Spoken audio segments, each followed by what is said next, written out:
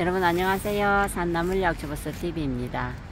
지금 붉게 익은 이 열매는 일본 메자나무 열매입니다. 메자나무도 종류가 많죠. 당메자, 일본 메자. 이 열매는 일본 메자나무의 열매입니다. 이 나무에는 보면은요 가시가 정말 많아요. 여기도 있는데 나무에 가시를 제가 한번 비춰봐 드릴게요. 가시가 어마어마하게 많아요. 이, 이 가시 보이는지요? 제가 가시를 한번 보여드릴게요. 잠깐만요.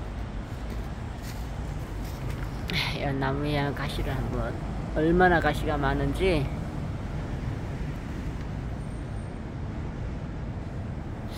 지금 영상이 잘 안 잡히는 것 같은데 잠깐만요. 네, 가시가 보이시죠? 이렇게. 나무에 가시가 엄청나게 많아요. 그래서 경계 울타리로 많이 쓰이고 지금 열매도 붉게 익어서 예쁘지만 잎이 단풍이 들어서 정말 예뻐요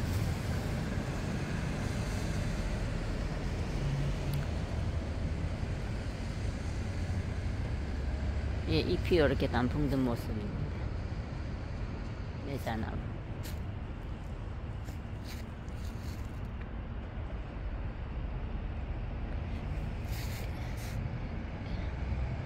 가시가 보이시죠, 여러분?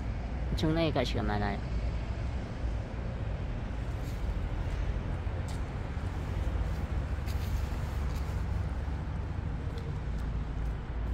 관상용으로도 예쁘게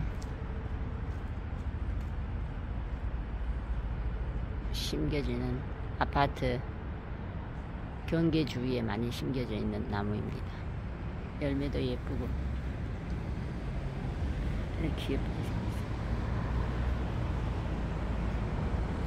이 메자나무가 천연 항생제라고 부를 정도로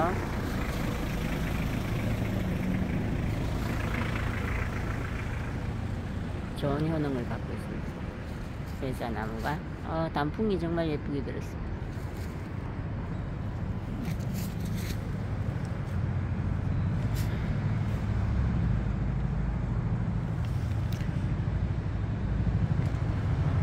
열매를 제가 예쁘게 붙이고 싶은데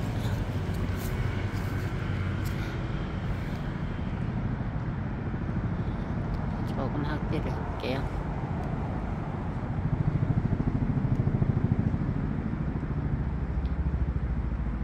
일본 메자나무의 열매의 모습입니다. 이 효능을 한번 보겠습니다.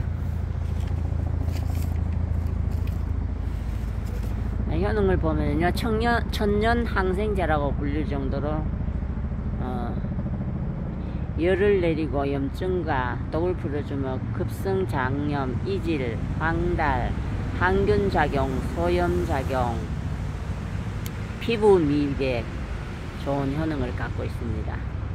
잎에는 독성이 있기 때문에 사용하지 않고 줄기나 뿌리를 약재로 사용하는데 아, 뿌리를 자황백이라고 합니다. 아, 말린 뿌리를 15g 달여 드시면 됩니다. 찬성질이니 과다 복용은 피하시고요.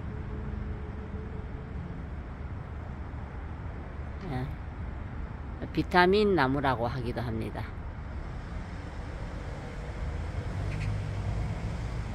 열매가 예쁘죠? 잎도, 잎도 잔잔히 예쁩니다. 비타민 나무 천연 항생제라 불릴 정도로 효능이 좋은 아, 일본